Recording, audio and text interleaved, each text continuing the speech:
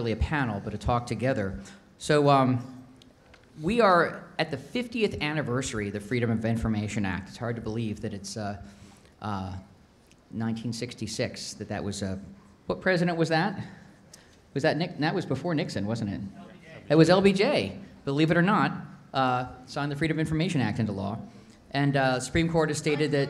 Can you hear me? yes. That the Freedom of Information Act, quote, defines a structural necessity in a real democracy, end quote. And I couldn't agree more.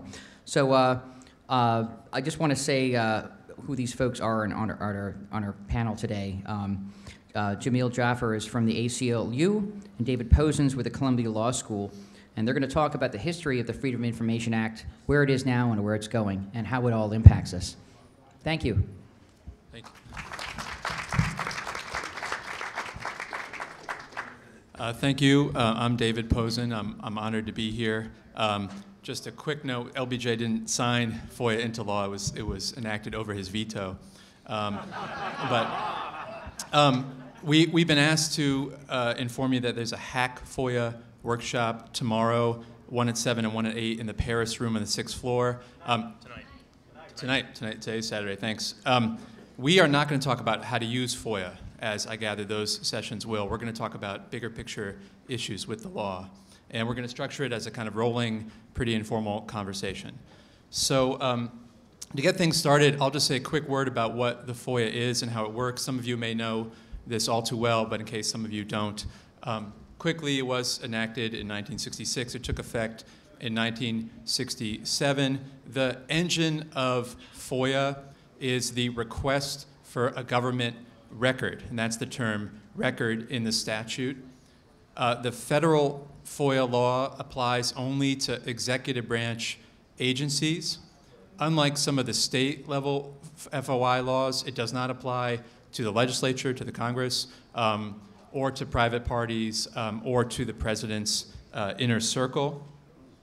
After agencies receive uh, a written request for a record, um, they, it then turns over to them to, um, and, the re- and the request, I might say, has to reasonably describe the records it seeks. Um, turns over to them to have 20 days, absent unusual circumstances, to respond to your request. In practice, agencies routinely miss that deadline and complain that it's wildly unrealistic. Um, they have to turn over, uh, the presumption is in favor of disclosure of responsive records unless they fall into one of nine enumerated exemptions. Uh, the first and most famous of which is the national security exemption, but they also cover trade secrets, privacy, and other matters. Um, if you are denied uh, uh, in your request, you have a right to administrative appeal and then judicial review uh, in the DC federal courts. Um, and you have no obligation in submitting a request to explain why you want the information, what you'll do with it, why you have some special relationship to it. That actually was the model under the Administrative Procedure Act in 1946. FOIA did away with that. So it's any person gets to submit a request for any reason or no reason at all to any agency. Um, and it therefore kind of frames government transparency as an individual right that we all have, um, um, and it's held by the requester.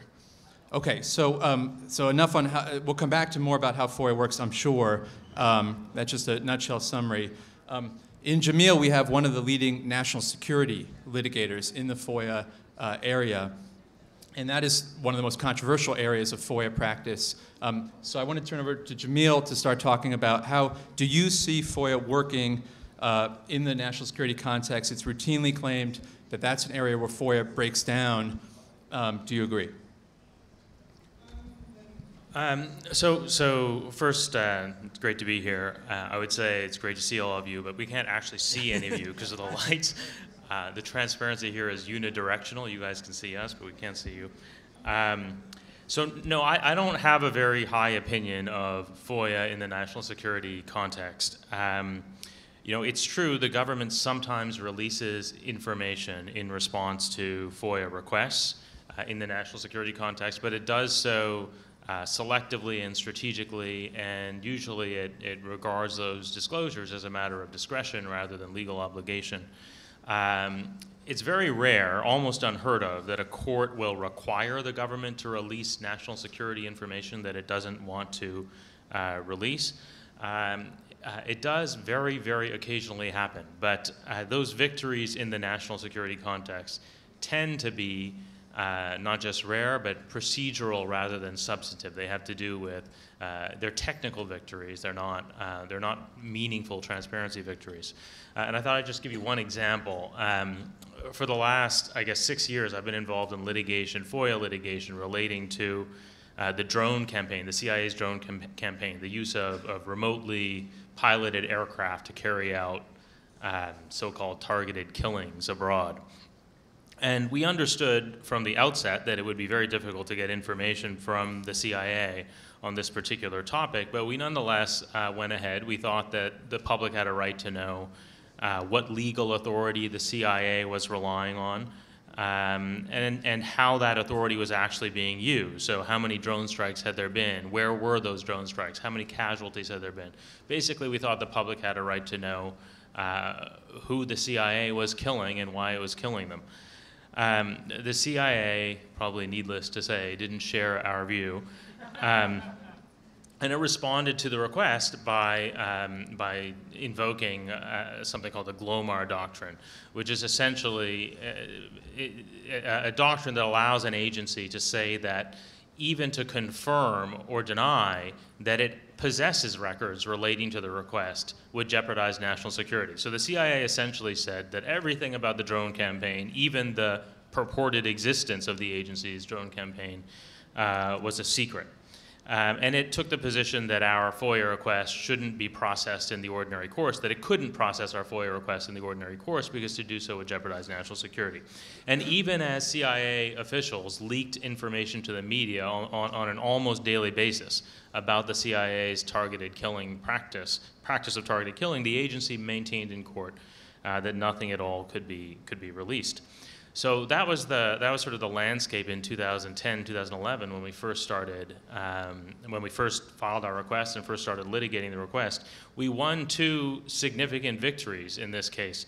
Uh, in, in this set of cases. The first was uh, in 2012, the, the DC Circuit, the appeals court in DC, uh, in, a in a decision written by Judge Merrick Garland, who, um, as you know, President Obama has since nominated to, to fill um, the late Justice Scalia's slot on the Supreme Court.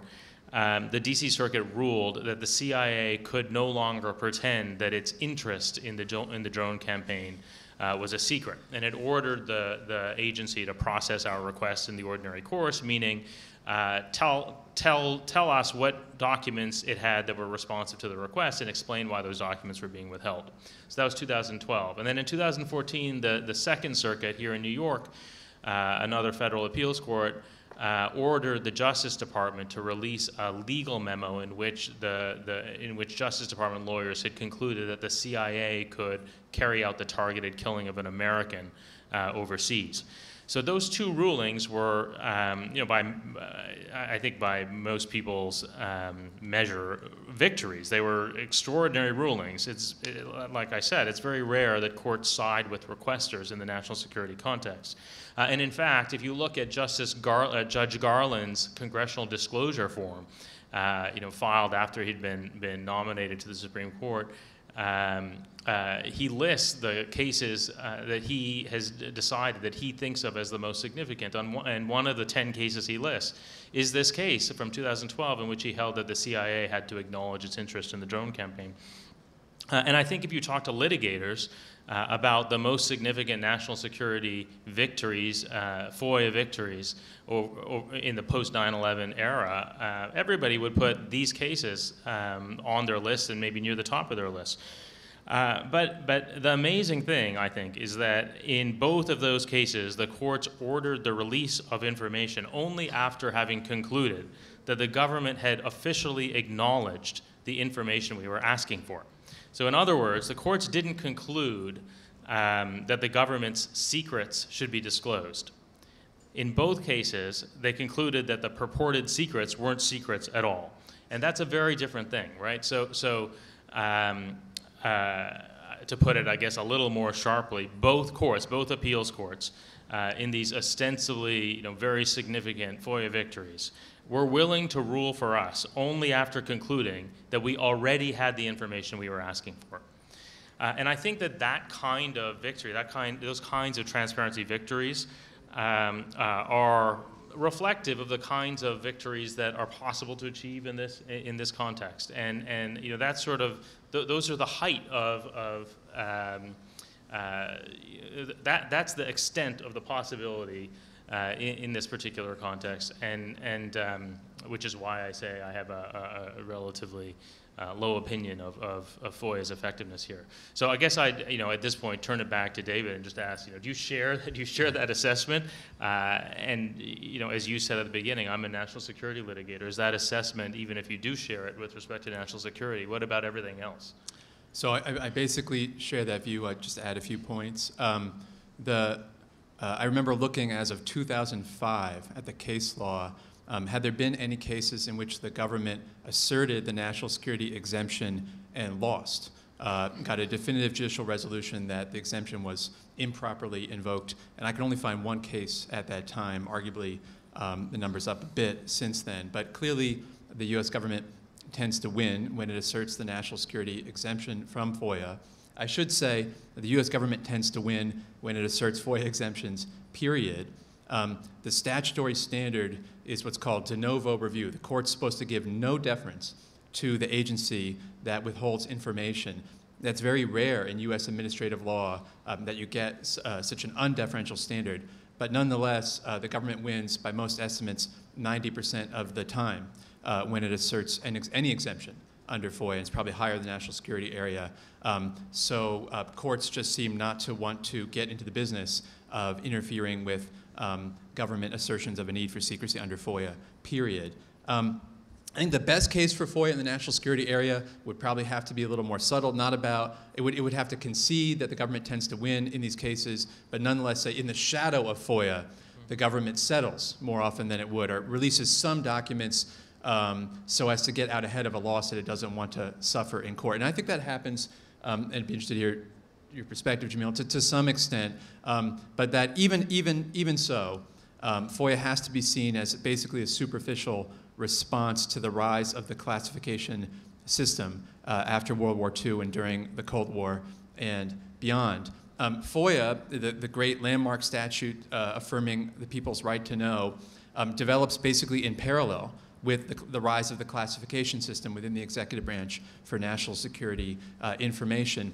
And the latter comes to swamp the former, I would say. The classification system is where all the secrecy resides, or the bulk of the secrecy resides in government now, and it's not much touched by FOIA um, due to the national security exemption, also exemption 3, uh, which says if another statute says you don't need to be bothered by FOIA, then you don't need to be bothered by FOIA, and the NSA um, relies heavily on exemption 3 for all of its uh, operations to avoid FOIA. Um, uh, interestingly, in the congressional debates, which took uh, many years leading up to FOIA's enactment in 1966, initially the national security agency, agencies seemed quite threatened by the law and were very worried about it. By the time FOIA actually enacted, however, in 1966, um, they had dropped a lot of their opposition and no longer seemed to be as threatened by it, um, I think making a realistic assessment of how they would fare under it. Uh, and um, ironically, you might say, Congress had never, arguably never, officially recognized the legitimacy of the executive classification system at all prior to FOIA. Uh, in writing in Exemption 1, uh, we have Congress actually, in some sense, validating uh, the classification system, um, even as it uh, uh, you know, stands up this right to know uh, in other areas. So that, that would be my take on, on the national security field. The FOIA is doing some work in the shadows that we shouldn't discount entirely, um, but, but it has to be seen as a, a, mismatch and overmatched as compared to the classification system. Um, I, wanna, I, I, have thoughts about how it's faring elsewhere too, which I'll get to. I want to see if um, uh, you want to riff on any no, of that. No, well, you know, I, I'm thinking about FOIA, in the shadows of FOIA. I mean, I think you're right that there are circumstances in which um, the threat of FOIA um, leads the government, even the, even the small possibility that the government might lose in court, um, results in the government releasing information that it might not otherwise release. There are also situations in which FOIA uh, forces the government to confront a decision or to make a decision that it, it would otherwise defer. Um, um, you know, the government may be of, of, of two minds about whether to release a, a certain piece of information. Uh, if, if a FOIA request is filed and a lawsuit is presented, and that lawsuit is uh, you know, sharply presented to an appeals court, then maybe the government, maybe an, you know, uh, uh, an administration that is ambivalent about the release of the information might be forced to make a decision. Um, so I think that there are, you know, I think you're right. You can't, you, you know, you can't say that FOIA is never uh, at all effective in um, uh, in, in, in compelling the release of information or persuading the administration, uh, the government to release information. Uh, but I think you're also right, right to say that those are sort of the, the that's at the margins and and uh, the overall um, uh, you know the promise of FOIA.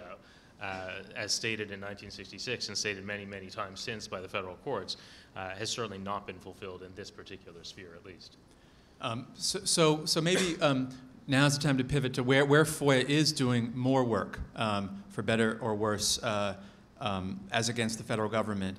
And um, I think it's telling to frame that discussion um, uh, by, by noting which agency uh, was most worried about FOIA by the time it was actually enacted in 1966. As I said, the national security agencies um, more or less make their peace with it. The holdout agency that was most worried about FOIA by the time um, it, it, was clear it was going to pass was HEW, um, Health, Education, and Welfare, now um, split up into different agencies. Um, and HEW's concern, in a nutshell, was that FOIA would constrain its ability to regulate economic power. Um, that FOIA would hinder um, uh, its efforts against big business um, to try to promote um, uh, public health, safety, welfare, uh, and so forth. Um, and there I'd say that HEW's uh, concerns were, um, were somewhat prescient about how things have played out. And I, I might, I might uh, put it like this. I have a, a historian colleague uh, at Columbia named Ira Katznelson who wrote this great book called Fear Itself about the legacy of the New Deal for American governance today. And he says what the New Deal left us with was, is this schizophrenic or Janus-faced state. Um, uh, inwardly, when the state is regulating domestically, um, it looks often weak, obsessed with procedure over substance, um, and uh, uh, um, very deferential to and protective of business interests. Um, externally, however, when facing outward to the rest of the world, the state, the American state, looks uh, purpose driven, powerful, interventionist, eager to take the fight uh, to enemies. So we have this, um, this schizophrenia. We have the so called procedural state, um, uh, in which public institutions are largely too weak to check private economic power. And we have what he calls the crusading state, uh, where public institutions of this country dole out overwhelming violence uh, with little uh, democratic oversight. So uh, I would say FOIA largely leaves intact, maybe even reinforces the crusading state for the reasons we just discussed. Um, but actually, and maybe more surprisingly, um, it, it, it, feeds into the procedural state too, um, and is a problem for some uh, things agencies try to do that we might like. Um, so a place to start in thinking about those issues is corporate use of FOIA. Um, there have been a lot of studies now, empirical studies, of who actually makes requests under FOIA. They all confirm that um, commercial requesters dominate the FOIA landscape. In some agencies, like the Food and Drug Administration or the Environmental Protection Agency, um, they are not just a majority, but a huge supermajority, 90% plus of the requesters. They have the deepest pockets, and uh, they tend to have lawyers, and they're the most likely to litigate. So there's some evidence, too, that agencies prioritize commercial requests um, over other requests, like from the media or the general public, um, maybe for fear of uh, uh, what will happen if they, if they don't. Um, so commercial uh, requesters are um, uh, crowding out other requesters in a lot of contexts. They pay somewhat more in fees than uh, members of uh, nonprofit organizations or reporters or academics. However, they don't pay nearly at cost. The government recoups less than 1%. Uh, the latest figures um, from last fiscal year say of the cost of administering FOIA from fees. Um, so we have this, uh, and there's a cottage industry that's developed, I might add, of companies whose whole business model is requesting information under FOIA and then reselling it often to institutional investors like hedge funds. Um, Uh, and some agencies, uh, data brokers or information resellers are actually are the main themselves the main requesters uh, uh, uh, in aggregate. Um, so um, you have this kind of hidden corporate subsidy, I think, uh, in FOIA, uh, which we don't tend to talk about as such, but it, it amounts to a wealth transfer from uh, ordinary taxpayers to uh, certain types of corporations. Um, at the same time, in agencies like HEW's successors, um, uh, there are, there's some evidence that it diminishes regulatory capacity, makes it harder to get things done, um, and uh, distracts agencies. Congress has never funded FOIA at remotely the level it would take to comply with its deadlines. Um, so agencies end up roping in non-FOIA personnel often to work on FOIA matters, and they complain at least that this hinders their ability to um, do their regulatory mission. Last point I'll make uh, in this regard, uh, and um, then I'll turn over to Jameel to respond, but also to start thinking about what we might do if we, if we see any of this as a concern, is uh, the type of journalism that FOIA produces, um, I think, is, is um, very interesting and in some ways distinctive. Um, FOIA was uh, passed in part to help journalists. There are a lot of statements by members of Congress uh, about how it was, it was uh, meant to facilitate investigative reporting. And it does that to some extent, although with the, the economic decline of the, of the uh, news media, um, it's doing it a lot less these days than it used to. And the delays are so long that it never really did it for a lot of reporting. Really only works for investigative reporters who are willing to stay with the story for a long time, maybe even litigate if they uh, don't get all the records they seek. Um, in any event, the, the, there now been some empirical work about the journalism that comes out of FOIA. What do news stories that say they got records from FOIA uh, uh, tend to talk about? And the main thing they tend to talk about is uh, waste, fraud, and abuse within government agencies. Uh, arguably, the second biggest story uh, type of FOIA story now is a story just about how FOIA is broken. so there's like uh, uh, um, you know this kind of meta journalism on, on FOIA's um, dysfunctionality. Um, stories on waste, fraud, and abuse are obviously important and uh, uh, important part of democratic accountability. Um, I would just suggest, though, that FOIA overrepresents the extent to which um, that is a problem or the problem in government today. Um, because of other legal mandates, agencies generally have to produce reports on that kind of behavior when they find it. Um, there are therefore already written records out there um, if you want to go hunt for them on those subjects. They're not exempt. Um, like a lot of other things are, they're not exempt under any of the nine exemptions. So the, the, the structure of FOIA um, makes kind of sitting ducks um, records that tend to talk about waste, fraud, and abuse. Um, and uh, therefore, and, and, and journalists aren't getting a lot of other things they might want through FOIA. Um, I think it's, it seems likely to me, therefore, that you get this systematic overrepresentation of that as the problem we should all be concerned about, as against other issues in government. Again, not to, not to say that that stuff doesn't matter greatly. Um, and that, that FOIA, therefore, kind of produces a, a, a reporting uh, uh, based on a kind of distrust and hostility to what uh, the government is doing um, beyond what might be warranted. And moreover, in the fact that everyone who uses FOIA finds that the delays are wildly not complied with, FOIA also reproduces that distrust and dysfunctionality in its very experience. So at two levels, um, FOIA is um, uh, um, harming the agencies, again, like HEW, um, who uh, more than maybe uh, the designers of it would have intended. So that Jameel, do, this, this kind of FOIA harms the procedural state or feeds the procedural state in ways that at least a certain type of liberal or progressive might not like, while, whereas it helps the crusading state. Is this too bleak um, uh, an assessment? Um, no, I, I, don't think it's too bleak. I, actually, as you were talking, I was, I was thinking about this. Uh, uh, I was trying to remember that joke uh, whose punchline is, you know, the, the, the food is so bad and the portions are so small because there's something there's something to that here too, you know.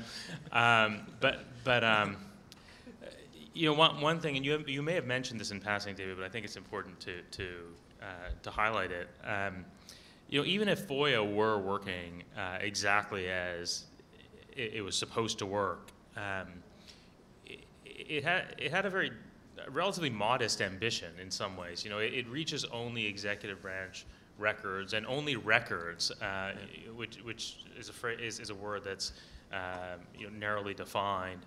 Um, and just to give you an idea of the significance of those limitations, so FOIA doesn't reach um, judicial documents, judicial decisions, and we, we, we have a court, um, as many of you probably know, that oversees foreign intelligence surveillance or certain aspects of foreign intelligence surveillance, and um, for, for 30 years has issued decisions relating to the, the lawfulness of the National Security Agency's practices.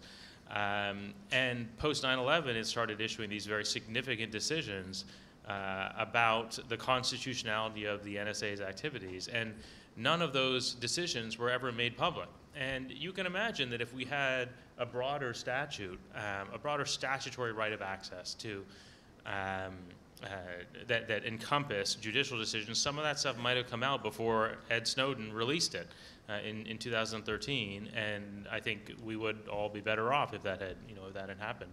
Uh, but that's a result um, of um, the narrowness of the FOIA. FOIA doesn't reach congressional records either. The, the Senate Intelligence Committee has put together this 6,000 6, page study of the CIA's detention, interrogation, and rendition program post 9 11. And the, the Intelligence Committee, as a matter of discretion, uh, released an executive summary of that, uh, of that document. But um, uh, FOIA doesn't reach the report itself insofar as that report is a congressional document. Now, there's a, there's a, a dispute, which the ACLU is involved in, about whether that document should be seen as a congressional record or an agency record. Uh, but there's no dispute that if it is a congressional record, the FOIA doesn't reach it. So, you know, it's important to remember that even if you fix the FOIA, you know, in the sense of making the FOIA uh, more effective in the sphere in which it was supposed to operate, uh, it's not actually going to solve every problem. And, and, you know, this is actually a point that David has made to me before, much more effectively than I just made it. But I, I think it's an important point. Um, so, so, you know, that's all sort of preamble to how do you fix the FOIA, even you know, even sort of taking the FOIA as it you know as it is in some sense. Um, I, there, on my list of things that I would do, um, uh, starting with with the least ambitious and moving to the most ambitious, I, I would start by strengthening the affirmative disclosure requirement. So, uh, just to give one example. Um, uh, there, so part of part, FOIA is is really a, it's a bifurcated statute. Part, part of it requires the agencies to release information on their on their own, and the other part is reactive. When people file requests, the agency has to respond. So, but the first part is very weak and has been interpreted almost interpreted away by the courts. Um, and uh, those first affirmative provisions were meant to require the agencies to disclose, among other things, their own law. So when, when an agency uh, issues a decision or promulgates a, a, a, policy that has an effect on individual rights, they're supposed to affirmatively release that, that, that, that document or that policy. Uh, and that, that, that doesn't always happen, it rarely happens. Um, and some of the most significant documents uh, relating to national security, um, like the, the opinions of the Office of Legal Counsel, for example, in my view, should have been released um, uh, affirmatively, you know, redacted for intelligence sources and methods, but nonetheless, you know, presumptively released, uh, but weren't. And, in, and, and the result is that we, we, we ended up in, in, in a fight about the release of those documents uh, in response to, you know, after somebody filed a FOIA request. Um, I, I, think that one fix, you know, one, one, one fix I would make if I were uh, in charge, and obviously I'm not, but, but um, one fix I would make is strengthening the affirmative disclosure uh, provisions. Uh, a second fix would be um, to, to prevent or prohibit the agencies from withholding legal analysis under the national security exemption. So, it, in my mind, it's one thing to say, well, the agency can't release the names of the people who provided it with information, you know, its intelligence sources, or can't release uh, the specifications for the Predator drone. That seems legitimate to me, that kind of withholding. Uh, but it's something else to say, well, we can't release, we're, we're, going to use the national security exemption to withhold the legal analysis uh, that we rely on in order to carry out targeted killings. To me, it seems like the, the public has a right to know or should have a right to know um, uh, the agency's interpretation of the law. And insofar as the, the interpretation of the law is entangled with classified facts, well, you can redact the, the classified facts.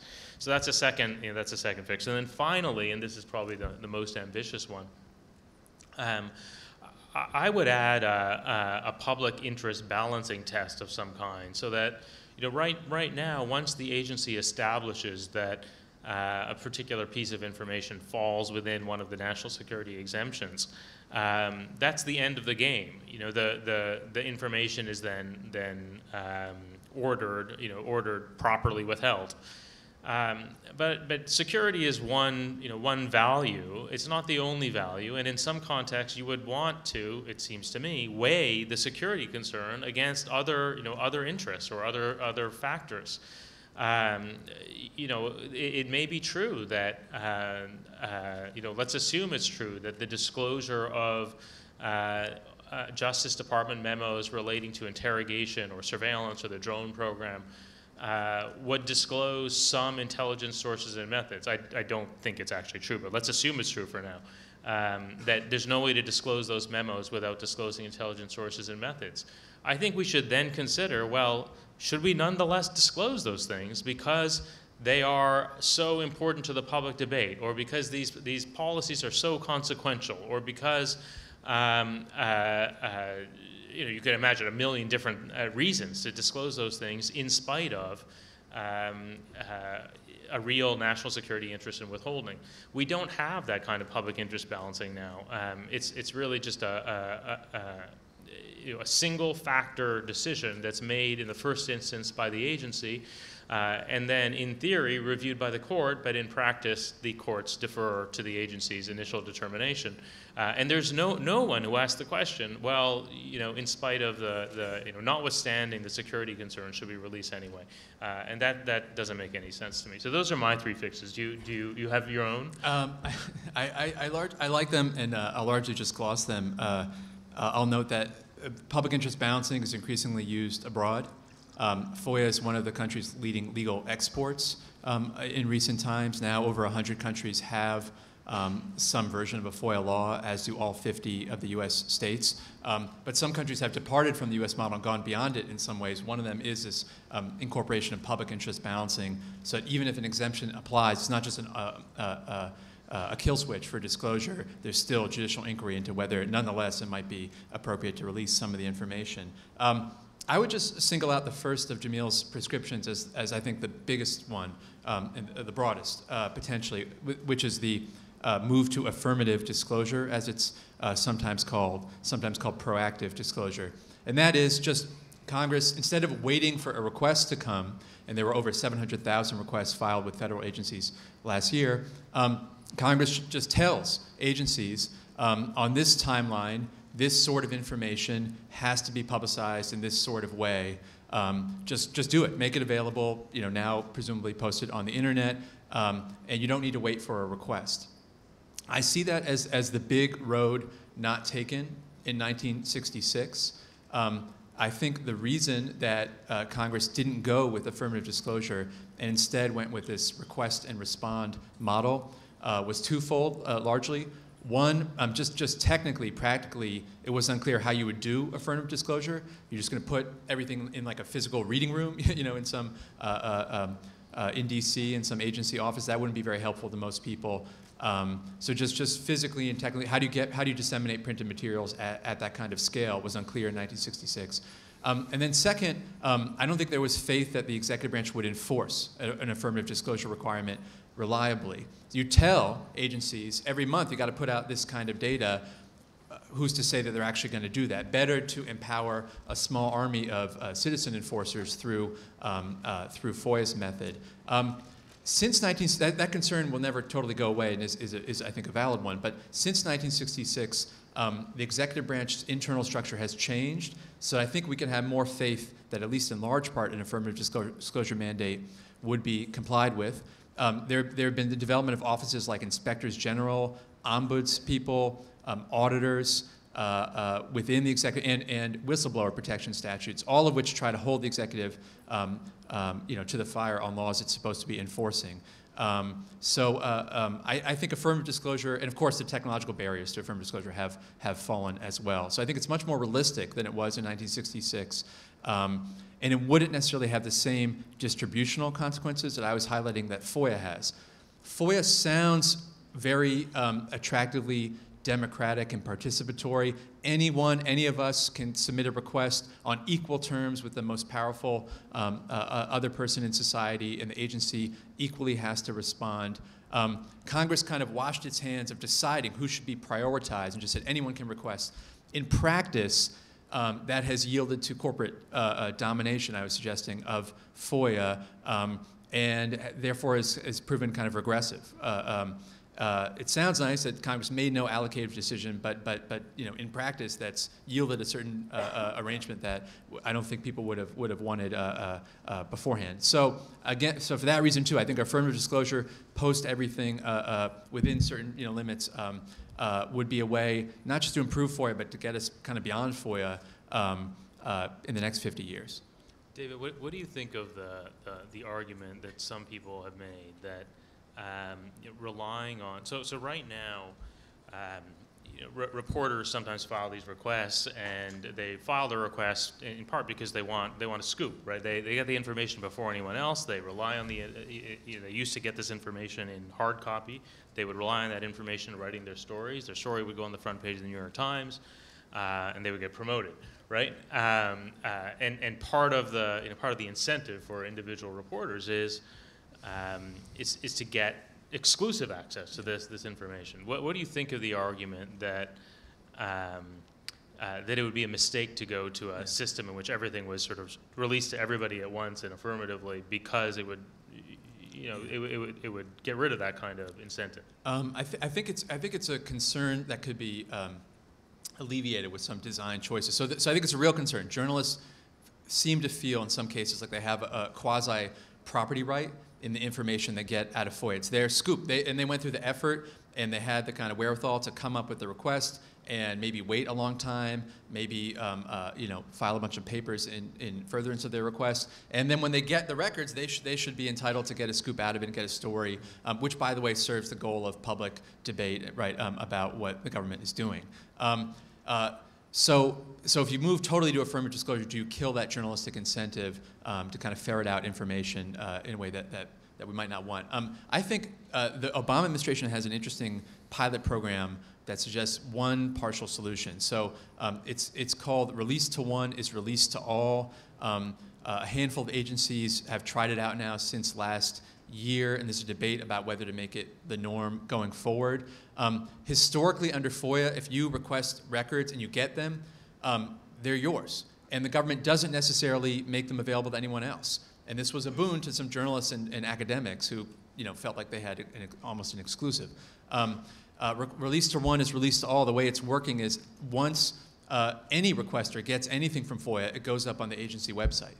And journalists, uh, at least a number of them, have been quite opposed to release to one is to release to all as uh, um, uh, undercutting this incentive structure that we were just uh, discussing. I think that there, I think there's an easy solution, which is just a, a, a time lag. Um, do, re do release it to the public, but you know maybe lag it whatever seems appropriate, a week, a month, so the journalist has some. Thank you. Um, so uh, I, I, think I think there you could satisfy both sides uh, with release to one is release to all, just with a with a time lag. Um, and then I'll just say on affirmative disclosure, just putting stuff up on websites um, uh, and seeing what happens. Um, I, I, guess I'm not so pessimistic that an industry wouldn't develop, um, just as other industries have developed around FOIA, that could, um, uh, you know, regularly monitor agency websites, um, figure out how to uh, make sense of the data they put up there. Um, um, I, I, just imagine a new breed of journalism would, it's already starting to develop, but would develop uh, uh, even more fully um, that would make use of affirmative disclosure because um, you know data is going to go up on the FDA website in huge amounts and the, we, the general public won't know what to make of it and we'll need mediators um, who can make sense of that whether it's uh, uh, old school journalists or bloggers or, or um, uh, experts in the field. So I, I imagine mm-hmm. just just affirm if we really moved in a big way to affirmative disclosure, we would generate a new kind of journalism and, and maybe even um, uh, industries around uh, making that intelligible to, to, to, all of us. So, so, I, so I, I'm less pessimistic than I think the, the, um, some of the journalistic attacks are on getting away from the uh, request-driven model. I should also add, if, in case the reason that we should stick with FOIA as it is is because it's helping journalism so much, um, just, just, I think it bears keeping in mind that journalists are now less than 5% of the requester pool at most agencies. Um, and routinely say that uh, the delays under FOIA uh, just make impossible a lot of the stories they want to write. Um, still, some important stories get written under FOIA, but um, uh, we shouldn't paint too rosy a picture of the status quo. You know, there, there, I think that, that there's, this is sort of a broader, a broader point. Um, there's the rhetoric of transparency, and then there's transparency in practice, right? And transparency in practice is, is often messier and uglier uh, than the rhetoric would, you know, have you, have you believe. Uh, this, this is one respect we've just been talking about. You know, journalists actually want exclusive access, at least for a time, to this kind of information. NGOs do too. You know, certainly the ACLU sometimes files FOIA requests because it wants information before, before anyone else has it. Um, uh, and uh, you know, but I also I, have also noted noticed a different phenomenon that's sort of related. Um, so when we would get exclusive access to information, we would sometimes turn it over to a media organization, say the New York Times or the Washington Post or the Intercept or whatever it was, and uh, and say, you know, we have this information that we got through FOIA. Here's what we think it means, but you know, you guys do your own investigation. And they would take time because they had an exclusive through us. They would take time to um, to do a deep story about that particular topic if, if, you, if everybody gets the information at once, nobody has the same incentive in taking the time. They all, the incentive is to write something really quick, uh, to be the, the, the, first to write about it.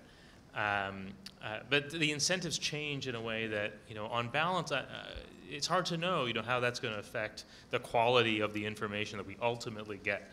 Um, so uh, that's not to, to say that, you know, you're, you're, you're wrong. I just think that it's, um, it's hard to hard to predict how it plays out. Yeah, that, I mean, I think that's useful to, to um, maybe push against some of what I've been saying. Some, some, you may have heard the distinction between transparency and, and knowledge um, that some theorists uh, uh, have introduced, and I think that the argument for FOIA, uh, at least in part as it operates now, would be it's not so great on transparency, just production of information uh, in the public sphere as we might think or want. Um, but maybe it's not so bad for knowledge in that um, those people get stuff under FOIA, at least the journalists and the, in the civil society requesters, are, are highly motivated to let you know what they found.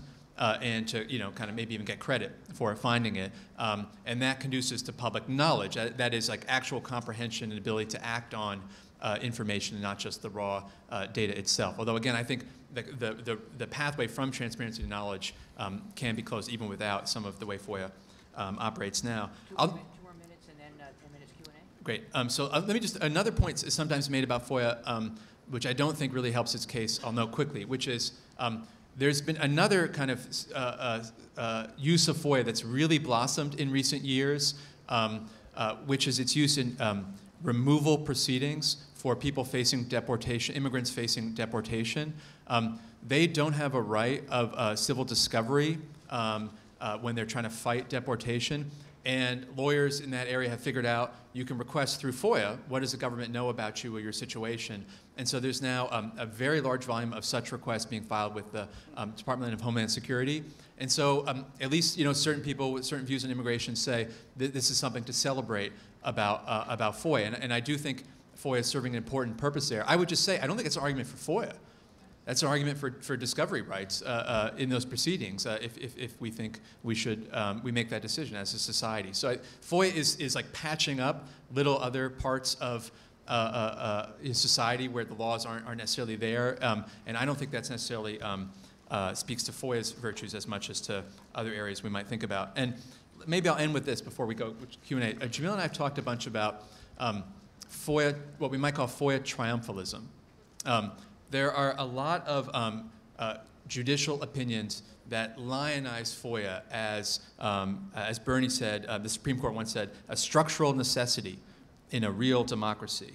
Um, and, you, and you can find a lot of other uh, quotes like that from uh, Congress and from journalists and from uh, the courts. And um, I would just suggest that FOIA is not a structural necessity in a real democracy. Some kind of transparency forcing mechanisms are, but there are many. There are leaks, there are whistleblower protection statutes, there's old fashioned congressional oversight, there's affirmative disclosure, there are a lot of other options out there as well.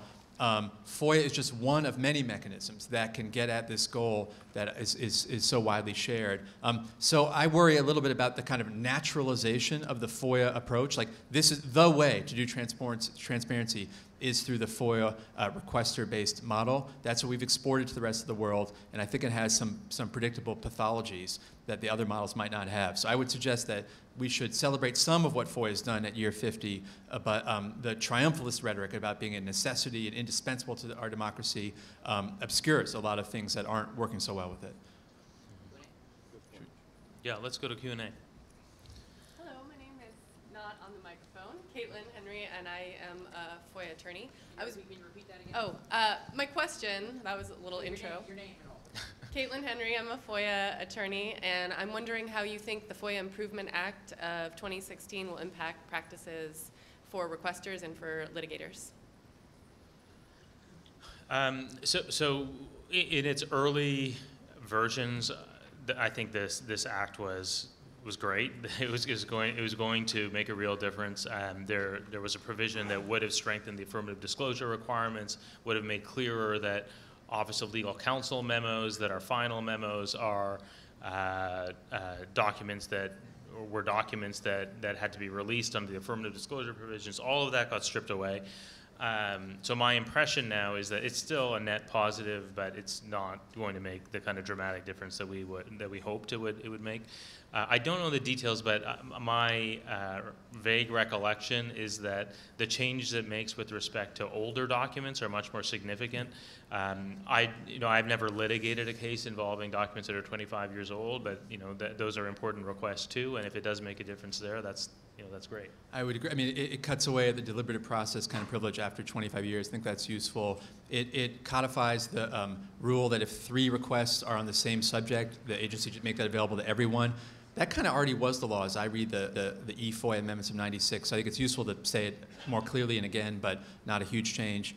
It empowers modestly this organization, the Office of Government and Information Services, OGIS, which is like a new mediator since 2007 for FOIA disputes in the executive branch. I think that's useful too, but, um, but also a, a modest reform. Maybe the most significant piece of legislation uh, uh, was at the very end. It says, "and no new resource, no no no funding will uh, uh, will follow." Um, and that being a huge problem for FOIA implementation, I think um, it won't make a huge difference, although maybe some do some modest good. Hi there. Um, thank you both for the work you do and for coming and talking to us. It's really fabulous. This question I have might be out of scope, and if so, we can let it go. But um, it, so Edward Snowden found uh, delivered to the world a lot of documents, um, and uh, they were delivered in such a way that I guess even if he were dispatched, they would still be released on some timeline. Uh, they're encrypted and distributed, and certain people had privilege to see them. My question is, um, how much of that document stash have we seen, um, and uh, how much is left to be revealed? And insofar as you're able to talk about it for yourselves, to what degree have you been able to touch those documents yourselves directly? If you know, if that's I don't I don't yeah. know in, in, in zero. yeah, I, I don't know the answer to that e- e- either. I mean, I know that there's more to be mined. I know that some of the media organizations have records that they haven't published or you know published about, but I don't I don't have a sense of the s- the scale of it. Where might we go to learn more about um, that scope? Um, and maybe maybe this is a question for Edward Zung. Okay, great, thanks. Hi, um, I'm somebody who's studying like archival sciences, and I feel like a lot of this conversation is always amongst ourselves, and we're not really uh, tapping into the networks where uh, demanding transparency and really getting that work done. Do you guys like work with archivists a lot to demand transparency because we are like the records managers, we are the people who you know have a lot of say in records collections. I don't know what kind of work you guys do with that. I, I don't. I don't personally. Um, uh, uh, really. Um, uh, I. I, uh, just, I do think it's a critical piece of not just FOIA, but the declassification system. Uh, the National Archives and Records Administration administers declassification in large part, and it, there was this recent study that it's the unhappiest place to work in the federal government. Um, funding levels are really pitiful compared to the scope of the job they have to do. Um, I don't think it's given nearly enough attention or resources. So, um, uh, in the FOIA bureaucracy, the people who are the uh, professionals implementing it um, traditionally um, um, didn't even have uh, a recognized job category by the Office of Personnel Management. Only in 2012 did they get that. So I think um, it's a bad reflection of our commitment to transparency. if We don't treat well the frontline people who are administering these laws, and we, and we, we haven't, and particularly in declassification. Yeah, I've, I've never, never had the chance to work with archivists, but that wasn't a decision, that was just, uh, I feel like it's like an untapped allied resource, so. Yeah, that sounds right. Okay. okay. It's Uh, probably our last question, I think. Oh, sorry. Um, question about balancing test. Um, so the um, I'm I'm very much interested in um, how lenient um, or um, withholding the balancing test would be in practice. Um, and I think um, and I think um, Jameel who brought this up also implied that the courts tend to be very differential. And I would think even the most independent parts of the executive branch would still be very differential. On the other hand, I, so and I. I I don't think we want it it's, um, applied in that kind of um, very withholding way. On the other hand, um, even though I love Jameel's work, um, but um, I, I, I think that I think perhaps um, you would be inclined to be to um, be a lot more um, generous in giving out information than a lot of maybe a lot of the general public would be willing to. Um, although, of course, your, your work would be very would very much benefit from a standard that was more in the middle um, as compared to the current reality. So I'm wondering, since the since I don't see any branch of government being inclined to be too generous, I'm wondering about the possibility of setting a precedent by having um, people outside government unofficially model um, a, a more in the middle um, balancing test. Um, so, like, um, and one place where that could be done is like in whistleblower disclosures, um, ha- um, sample um, public opinion or deliberative public opinion um, to see um, was this um, was this worth disclosing or was it not? Um, classic example: Chelsea Manning in, um, in, in the, Right. Okay. Okay, so, um, Yeah. question is, um, Right. would you be willing, um, as somebody who would be benefit from this, would you be willing, um, to cede some of the moral authority on, um, what should be disclosed, um, to people who might, uh, to something closer to public opinion that might be more towards the withholding end than you would be, but less so than current reality? There's a lot there. I'll say quickly. Um, I, I do think that um, there's a story in the way FOIA has evolved about um, judicial incentives that no matter how what you say in the law about what they should do, no deference, balancing. Um, we can't have a ton of confidence that they will want to disclose things the executive doesn't, and that council's moving to some other models. Um, I do think it would help, at least at the margins, to have the balancing, but I think you're right. I would just say that on the um, what about the public interest as proxied by what the people think in polls or what Congress thinks? Um, I would just point you, uh, in closing here, there's a great paper by Yochai Benkler um, where he argued recently that um, if people are prosecuted, like, uh, say, a Snowden for violations of the Espionage Act or other statutes for leaking, they could have as an affirmative defense a public interest kind of standard. And, they, they, and he proposed specific indicators of serving the public interest. Did a congressional hearing result? How much journalism resulted in other fact? I forget his exact list. But he tried to operationalize this idea of um, getting the public interest into court, in that case through a defense. But I think it's a promising idea.